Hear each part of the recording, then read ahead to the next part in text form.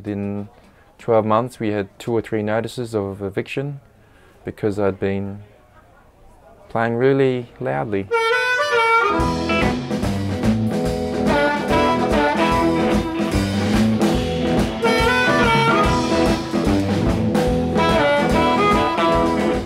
music I was playing in my first group, which is when I was a teenager, which was in the mid 80s, was like cowpunk kind of stuff. When I finally got to see friends who were playing guitar, I thought it was pretty cool. And also, the, the girls seemed to be a lot more attracted to rock and roll than standing up with a French horn in a 50 piece orchestra. My favourite drummer is Fred Below, and um, when I discovered him with the Little Walter band, um, I loved everything he was doing. He was different from your normal blues drummer, even though he was playing in that vein like a lot of the other guys, he was different. I was pretty much, you know, obsessed by blues. I started looking for the blues records, and when I found the real thing, like Howling Wolf's version of You're Gonna Wreck My Life and uh, Smokestack Lightning and all these things that were songs that I'd heard other people play, there was like no comparison. You know, it was way more interesting and aggressive and frightening and, and tough and scary, and you know, it was it really appealed to me in a big way. I'd save up my money and buy record, a vinyl record. But then on the back it would have who he played with and who he was influenced by and maybe even a cousin or something like that. So, But so the more I read up on the harmonica stuff, the more I kept coming across names like Sonny Boy Williamson and Sonny Terry, Little Walter, and all those people. um, and I put stacks of 20 cent pieces to slow down the, the record as it turned so I could slow the music down to a, to a point where I could actually hear the notes of the guitar. And from there, I answered an ad on um, 3PBS to join this band. It turned out to be this group called the Checkerboard Lounge Blues Band. I always knew that I was going to go to the roots side of all the music. And I spent time playing in America, in Austin, Texas, and stuff like that, because it was a bit of an obsession with Austin as a music place. And I'd always wanted to sing too, so I sort of dabbled with that as well in the checkerboard group. But it wasn't until I left that group I started Collard Greens and Gravy, and I was the main singer and kind of main, uh, you know, front person in that group. Who's the guy? So his name's Chris Wilson. Do you know Chris Wilson? Of course I know Chris Wilson. Who doesn't? Really? He needs a. He sacked his band? Yeah. Would you be interested? Of course I am. Now, one time I was in Austin, I was at a bar, and um, James Cotton, who was the harmonica player with, well, he had a huge career of his own, but the harmonica player with Muddy Waters, just walks in and starts playing the pokies you know, in the bar. And I was like, is that, is that James Cotton? It's like, yeah, he comes in here all the time, he lives around the corner. So, of course, I did the thing what I had to do. I felt compelled, like, you know, sort of like moths to a light. I sort of just gravitated over towards him and then had to tell him how much I loved him, basically and he took it all in his stride. But it was more to do with, oh, well, thank you very much. Um, you know, do you reckon you, you could kind of let me get back to playing my pokies?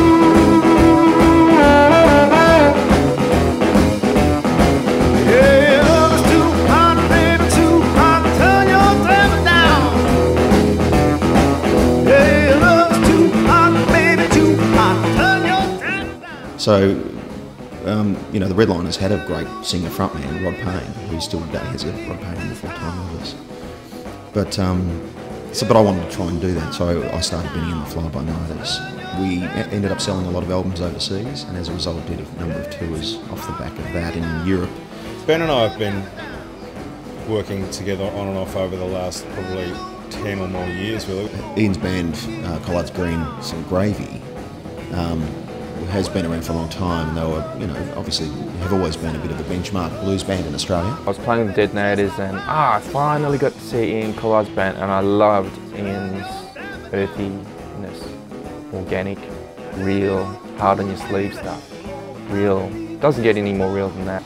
It's sometimes hard to find people who listen you know, and understand where you're going with something. You know. And the same with Jason on drums. You know, he's just a very, very good drummer, and he listens and he understands. He's got, and he's um, he's very adaptable. You know, he'll listen and he'll change something very subtly to make it work if you're doing something. You know. I think it's really important in this music to pay attention to the details, you know, because if you don't, it all starts to sound the same. Anyway, so I always wanted to play then and I always wanted to play with Ben. And then years later, I get a phone call from Ben just to fill in now and again with his band, which was great. And then he gave me this one particular call. He said, I've got this band with Ian Collard. He invited me along to a jam. I turned up and it was, it was godly. So once we decided we were going to get a drummer and that was going to be the setup, and we initially had a thought of not using a bass player. That was kind of like a bit of a sort of a, uh, an idea and a focus as well. The sound is very reminiscent of what they were doing in the very early 50s um, before electric bass became popular. There's a lot of old, there's an old-fashioned style of playing blues and that raw style blues where there is no bass player, and then one of the guitarists used to keep, or both of them used to keep a heavy bottom end to try and rep, you know, duplicate a bass to a certain degree.